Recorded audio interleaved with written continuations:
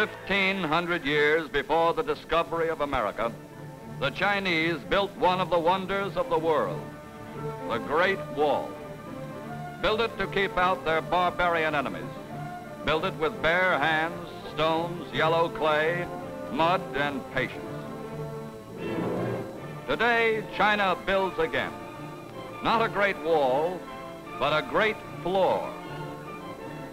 This Chinese child is building an airfield for our B-29s and other super bombers, helping in the destruction of the barbarians of today, Japan. This child, his mother, his nine-year-old sister, his father, and a half million other small people working with the tools of their ancestors are now hacking out a vast system of super airfields. In America, the super bombers and all the thousands of parts that go into their construction are being made, sub-assembled, assembled and flown to China with all possible speed. In China, we had to have special airfields. There was no machinery, only people. Here are those people taking just one month to grind out a modern miracle without modern equipment.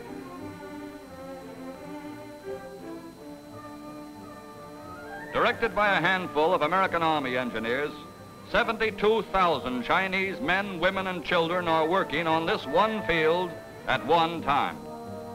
They come from all the neighboring villages, rice farmers bringing their own homemade equipment, wheelbarrows, bamboo poles, straw baskets, and a burning will to work. Yes, these are the people whose families were bayoneted and burned alive, whose wives and daughters and mothers were raped by the Jap invaders. They know the sooner this and the other great fields are finished, the faster we will be able to make the Japs and their leaders pay for their crimes. Not enough bulldozers in China. So these workers dig up the good earth by hand and cart it away on their backs. Not enough concrete mixers, not enough cement. So they surface the fields by hand setting stones into an immense tile floor. Long enough, broad enough, strong enough for our super bombers to take off for Tokyo and land again.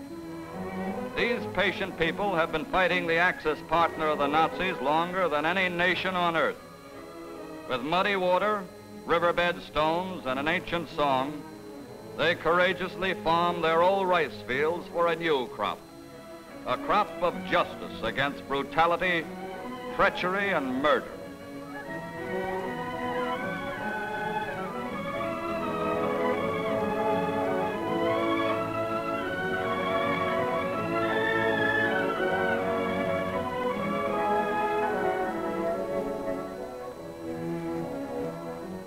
Here is the great floor and all its enormity. The impossible is finished in record time, in only 27 days. 27 days to change acres of water-filled rice paddies into miles of fast, hard flooring for super bomber wheels. These are our allies, the people of China. Building an airfield the area of 30 football fields with little more than the strength of their backs.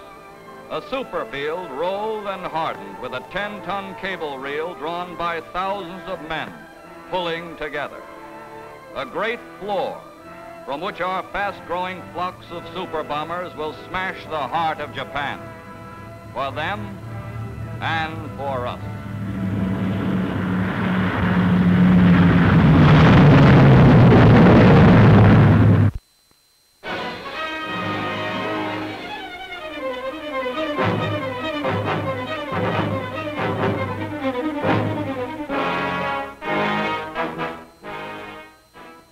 Paratroopers, cloud hoppers, sky guys. No feathers on these warbirds, no wings on these angels, but they're terrific on the flying tackle. This job is top secret. We're taking off from an American airfield somewhere in Europe. Where we're flying to is secret, but what we're flying in is not. These beautiful planes, looking like giant seagulls in the morning sky, are C-47s, paratroop planes.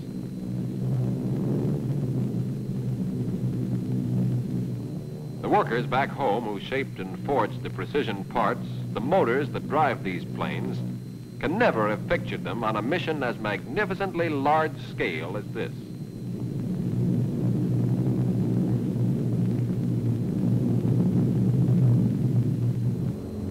We're nearing DP, drop point, coming close to our unnamed destination. When the jump signal is given, these boys will take that first big step down. In no other war have soldiers been called on to fight like this. But some of them will die in the same way that soldiers have always died.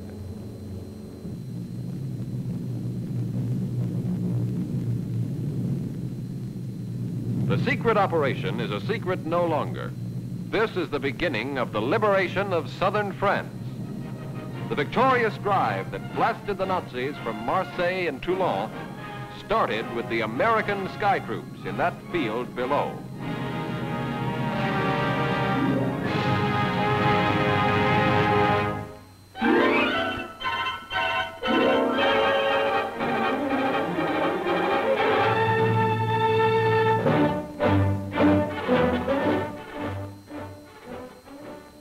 Suppose you had helped take back Chicago, or Detroit, or Pittsburgh, or San Francisco, or Dayton from the Japs.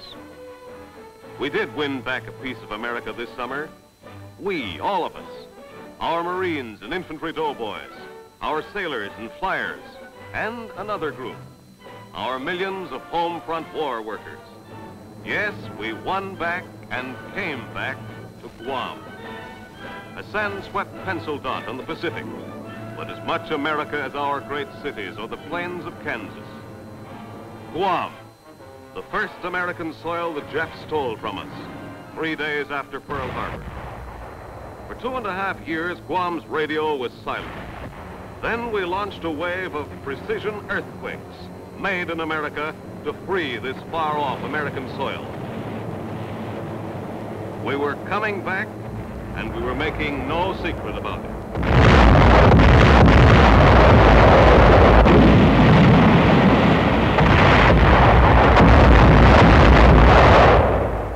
For 17 days, we squatted in the Gray Sea and announced our arrival with a crescendo that rose on D-Day minus one to 25 tons of bombs an hour.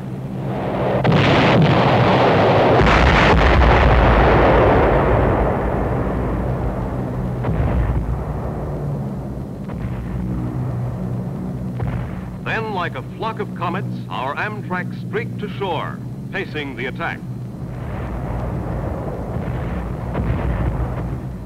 Their course was as swift and sure as the course of our shells that kept sending Jap hopes up in smoke.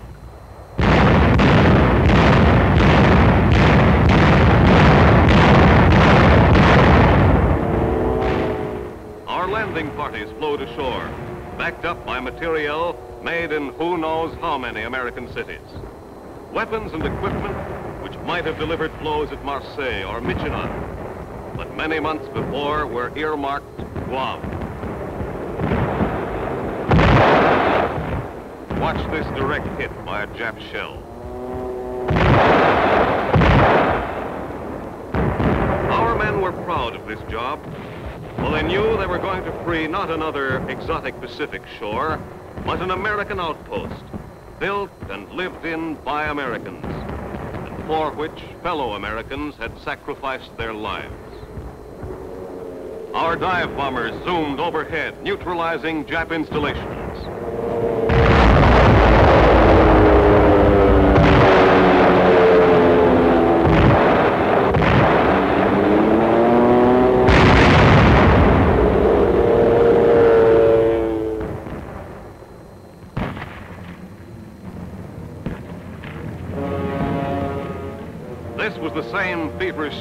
land we had plowed through in other islands. But this was ours. This was part of America. And there was heart as well as muscle behind every shot we fired here.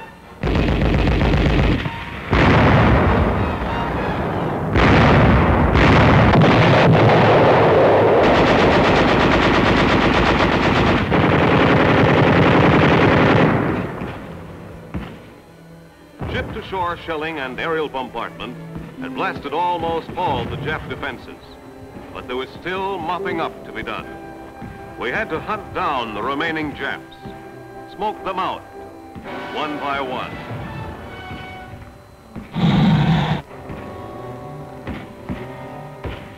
The Japs held on with their suicide stands, which we must always expect. We went into the caves after them, on this island that looked like Saipan and smelled like Tarawa.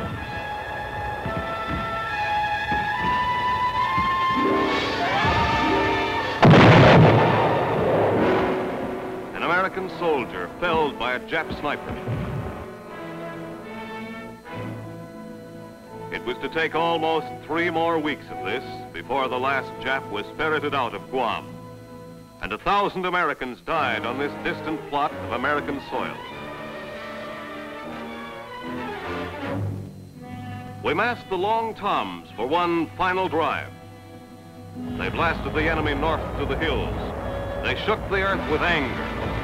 It was the roar of these big guns which quieted all Jap resistance.